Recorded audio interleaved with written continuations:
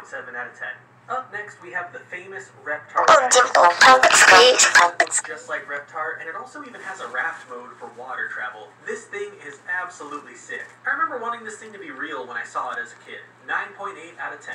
Next is the Kangaroo the maximum mechanism for infant mobility. A bouncing walker that has an infrared sensor that detects anyone or anything that gets too close, and a backing up alarm too. Personally, I like the design, and Dill seems to have a great time bouncing around in this thing. Not a bad invention by any means. 8.2 out of 10.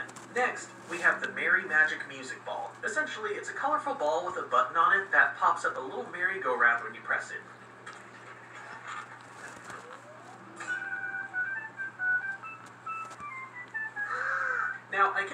Thing being fun the first these, you'll look cool while you remember it. It kind of reminds me of those like spy sets that you'd get in the early 2000s that comes with all those random trinkets that won't really help with spying, but they make you feel cool when you're a little kid. 7.6 out of 10. This one is kind of an honorable mention because it's not Stu's invention per se, but next is Tommy's invention. It's a rubber ball with a towel wrapped around it, tied with a rope. Attached to it are some keys, a rubber duck, and a teething ring. If Stu made this, I'd give it a really low score, but for a baby, Tommy did a fantastic fantastic job inventing this for his brother. 10 out of 10. Next, we have the opposite of the automatic lawnmower, the Lawn Grower 2000. It's a big old eyesore that goes in the middle of your yard and it can fertilize and water your lawn in three seconds, according to Stu. Basically, it's a fancy sprinkler system. Imagine some kids thinking they're going to run through the sprinkler, but instead their skin starts to burn as they get sprayed with fertilizer. Terrible idea. 0.25 out of 10. Next up, we have the totally original Sprinkle-Matic 6000. Another automated yard sprinkler. It's already been done before. Unoriginal, recycled idea. 1 out of 10. Next is the totally practical Pickles Door Stopper 3000. It's a big metal electric door stopper that'll hold any door open at any angle you choose on the keypad even in gale force winds. Stu puts it way too low, and Grandpa bangs his head on it. After realizing his invention sucks, he ends up collabing with Susie to make door stoppers out of her god awful Reptar cereal bars she made with her Easy Bake Oven. I mean, at this point, why not just use a normal door stopper wedge? 2.1 out of 10. Okay, so this thing was never actually named on the show, so let's just call it the Pickles Bebot 3000, because Stu likes adding a couple thousand to every invention he makes. It's a remote control bee and a robotic flower. The object of the game is to get the bee to retrieve the golden nectar in the flower. I personally would have a ton of fun with this toy. The flower is pretty irrelevant in my opinion, I'd just have a blast flying this thing around for fun. 8.4 out of 10. Up next is the Power Picker 2000, an automatic apple picking machine. It's supposed to suck up the apples and sort them into bins, but it tries to eat Stu, sucking up his tie and then his hair. With 20 gigabytes of horsepower, it's guaranteed to pick apples 200 times faster than the average human. First of all, Stu, gigabytes aren't a unit of measurement that would apply here. Second of all, this takes all the fun out of apple picking. 3.2 out of 10. Next, we have the massive animatronic Reptar. It's a giant metal Reptar made by Stu, controlled via simulated reality gloves. This giant behemoth would later appear in the Rugrats in Paris movie as the Euro Reptar theme park paid Stu to make it. This thing is super cool. My favorite part had to be the controls. The way you use the gloves to move its arms is really awesome. Next, we have the Finster's Treehouse. This one was pretty tough on me. Stu didn't really invent tree houses, of course, but he did design and make this one by hand, and it, Tommy even refers to it as one of my daddy's inventions so I felt like it did deserve a spot on the list. I would have loved this as a baby, 7.6 out of 10. Up next is the often overlooked Dustbot 3000.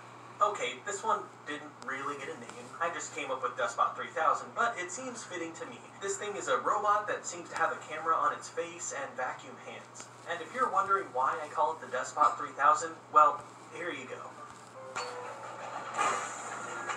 If your house needs a good layer of dust, then look no further. Stu has you covered. Literally. 5.4 out of 10. Up next, we have the automatic plunger. It's kind of like a drill with a plunger fastened to it. It plunges for you and it also spins. I'm not sure why you would need it to spin, but it does.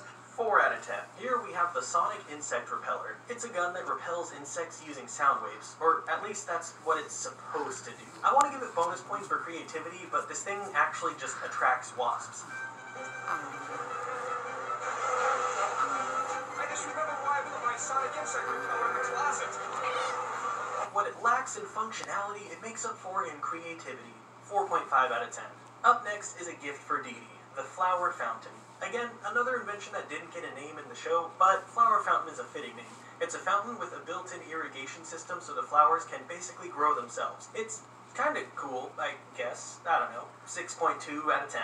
Next, we get kind of abusive with the Mega Kitty Deluxe Playpen. It's literally a little playhouse with a lock on the door, so you can straight up lock your kids inside. Thankfully, Tommy is smart and can use his screwdriver to easily get out, but still the premise is pretty messed up. In an act of karma, the adults actually end up getting trapped inside of it. Don't like it, 0.1 out of 10. Next is the highly sought after Stove of the Future. Again, this one also didn't get a specific name, but Stu refers to it as the Stove of the Future, so that's what I'm going with. It's basically a fully automated stove robot. Ultimately, all it does is hit Drew in the head with pans and spray water everywhere, as well as blow a giant hole in Drew's kitchen ceiling. Look at the bright side.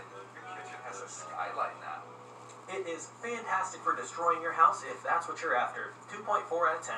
Next is the wave of disaster preparedness equipment with the Earthquake Preparation Helmet, or E-Preparation H for short. Basically, it's a helmet that you put on your kid's head to protect them in the event of an earthquake. Solid 5 out of 10. Let's just hope that you know when the earthquake is coming so that you can make sure to put it on beforehand. And guess what? Now you will be able to know when the next earthquake is coming with the next invention. Stu Pickle's Earthquake Detection System. It's basically a seismograph that makes the same crackling noise as a Geiger counter would when it measures radiation. It's supposed to help detect when an earthquake is coming. I gotta deduct points because I know good and well that he didn't invent the seismograph. 4.2 out of 10. And what would an earthquake preparedness kit be without this? Early warning devices. Since dogs can detect earthquakes before they happen, these devices are connected to the dog's head, and as soon as they detect an earthquake, it'll trigger an alarm to warn people. Clever idea, honestly. Too bad they didn't work properly at all. 6.9 out of 10.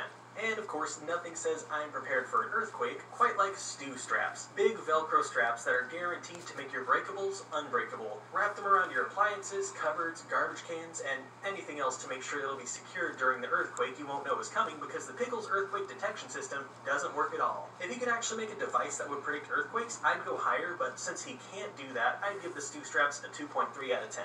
The Pickles Toys disaster preparedness phase may not have been successful, but at least nothing exploded this time. Next, we move back to the plant game with the automatic plant waterer. It's a water tank with hoses that go into pots that are intended to water the plants, but instead the hoses just spray water all over your house. I love how after all these years, Stu still looks surprised when his inventions do more harm than good. I mean, how hard is it to water your plants yourself? 3.2 out of 10. Next, we get into the surveillance game with the Pickles Closed Circuit Baby Cam system. Basically, it's a closed circuit security camera system that Stu uses to watch the babies. It consists of small cameras that he has hidden all over the house in strange places. Definitely not creepy at all. But Stu didn't invent the closed circuit security system. This one's been done before. 2.2 out of 10. Next is the Pickles Noise Muffs. Essentially a pair of noise canceling headphones. They guarantee the user absolute silence. What? Exactly. Ahead of their time and they work properly. Not a bad invention. 8.4 out of 10. Next, we get back into the holiday spirit with the giant neon dreidel. It's a huge light up spinning dreidel that Stu has affixed on top of his house as a festive holiday decoration. I like this one. 7.9 out of 10. This is Stu's biggest invention since the giant animatronic Reptar.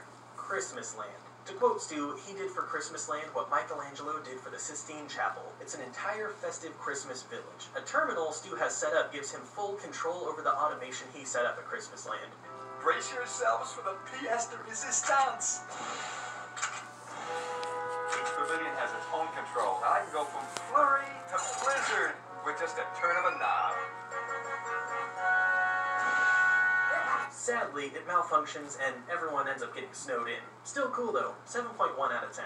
Next up is the hilarious light system.